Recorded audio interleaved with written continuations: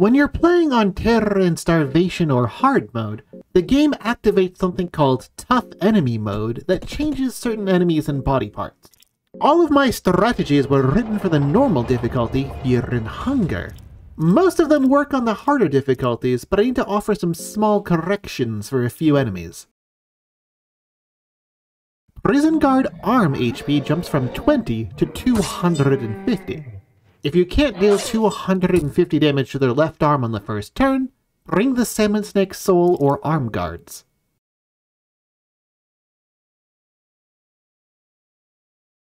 Cave Mother's torso jumps from 375 to 725 HP on the first phase, and from 325 to 625 on the second phase.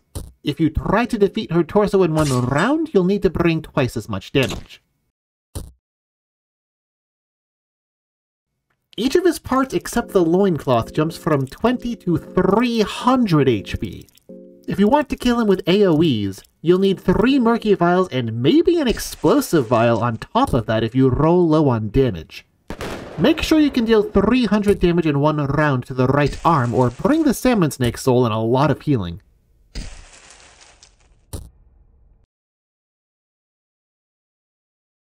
His left arm now has 40% evasion, and both arms jump from 20 to 300 HP. It's no longer worth targeting his arm. His arms and torso have more HP, but this won't affect the strategy. His torso jumps from 1250 to 1750 HP, but status effect damage jumps proportionally. You'll need to deal 350 damage to his torso to kill it after two status effects ticks, but no real change.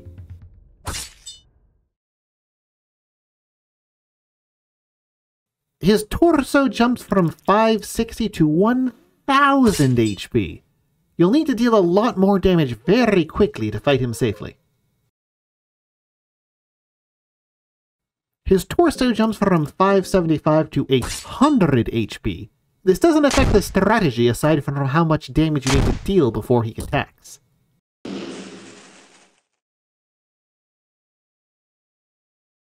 Cave Dweller Warrior's torso jumps from 350 to 850.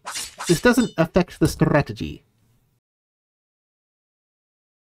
All three parts of the Black Witch have more HP. The arms jump from 20 to 400. You will either need to use Leg Sweep to destroy both arms, don't ask how that works, or use Marksmanship on the Overworld if you fight him in Mahabre.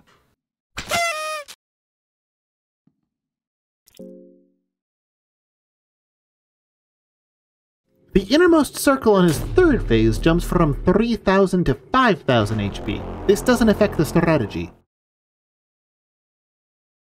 Valtiel's face jumps from 3,500 to 4,500, and his brain lobes jump from 2,500 to 3,500. This doesn't affect the strategy.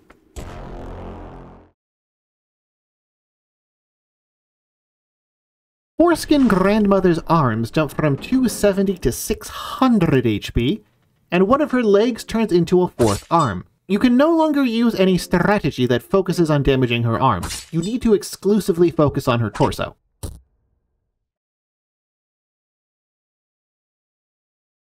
Francois is still a complete joke that explodes if you show him that one smug Megumin image.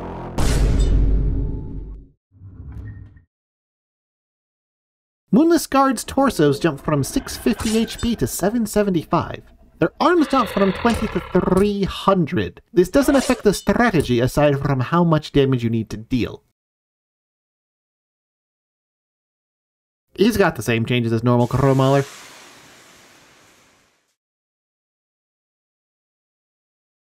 His torso jumps from 575 to 725, but this doesn't affect the strategy. Their torsos jump from 780 to 1560, so you almost always need to go for the head.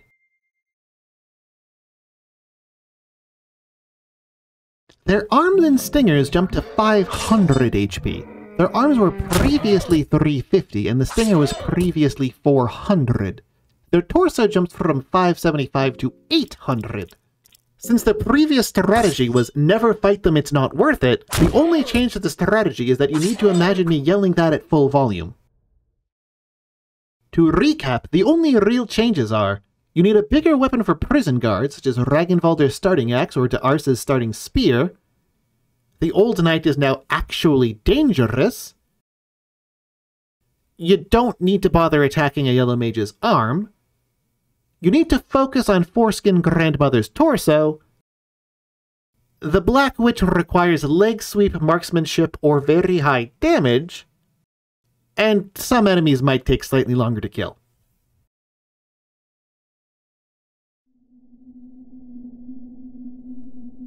Let me know down in the comments which enemy you want me to cover next. I'll ignore it, but let me know anyway.